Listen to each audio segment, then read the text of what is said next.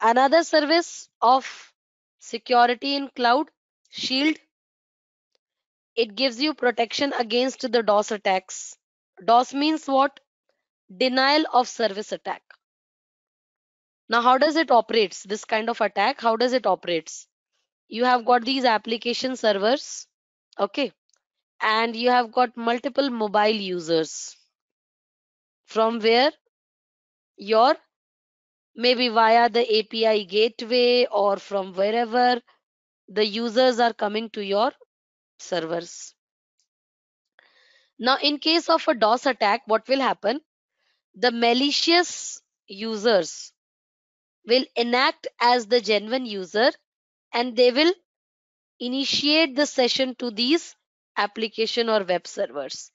And there will be so much requests which will be coming from these malicious users that the original genuine users the server is overwhelmed with the requests which are coming from these malicious clients and the server is busy processing them and thus he denies the servers denies the services to be given to the original user. Such kind of attack is known as dos attack denial of service attack which can be easily mitigated by blocking the ip from which the attack is being generated.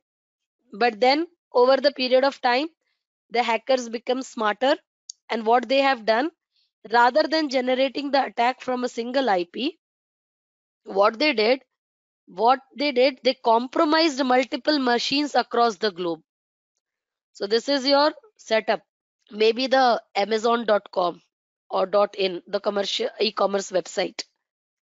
Okay now there are genuine users who are using this amazon.com from their mobile.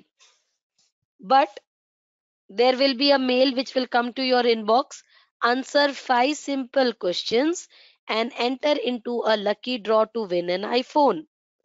When you click on that link you will be asked five silly questions and when you click on submit every time when you answer a question obviously right questions will be there. When you submit it will give you a message congratulations you have been entered into the lucky draw.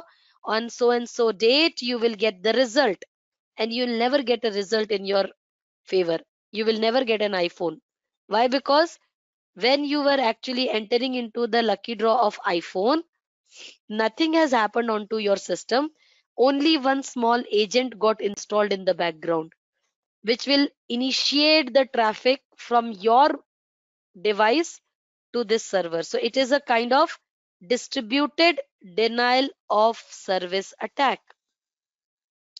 So now lakhs of devices has been compromised and the user who is the owner of that device doesn't even knows that the requests are being generated from their devices and it is coming to the server now it looks like genuine requests but they are being generated from multiple sources by the small agent which is installed by the hacker on these compromised devices. Now to identify such kind of distributed denial of attack kind of DOS, you need a specialized service. We call it as it as AWS Shield in Amazon. So this is your shield. Okay. Now shield can be deployed in two variants, standard or advanced. The standard will give you protection against the common network and transport layer attacks. That means layer 3 and layer 4 attacks of DOS. I have explained you about the seven layers na, in the last slide. So layer 3 was network and layer 4 was transport. So these are the uh, these are the two layers and the common attacks which are performed using these layers can be protected by AWS Shield standard which is free of cost and can be enabled. But if you want the protection till layer 7 and you want a real time visibility into your attack and you want a DOS response team working for you 24 by 7 which can be engaged when attack occurs so that you can mitigate the attack on your application as soon as possible.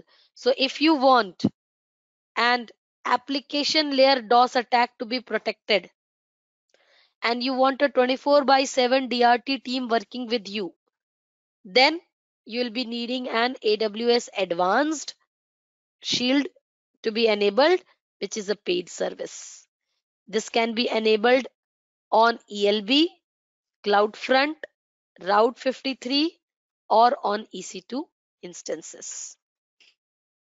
By default, the standard cannot be enabled directly on EC2. It can be only enabled on ELB, CloudFront or Route 53. Only the Shield Advance can be enabled on the EC2 instance without any ELB or CloudFront or Route 53 in between. So guys, this was our expert from Team K21 Academy and if in case you missed upon any concept or if you want to dive deeper into the concepts, then we have something really special for you. We have our free class on Amazon AWS Solution Architect Certification for Beginners. Under this free class, you'll be learning about why and who should learn AWS, cloud services, deployment models, and AWS services as well and the most important part is you'll be getting hands-on labs, job opportunities, along with Docker and Kubernetes in AWS and amazing, amazing stuff. So if you want to register for this free class, all you have to do is just log on to your browser and type k21academy.com forward slash AWS SA02.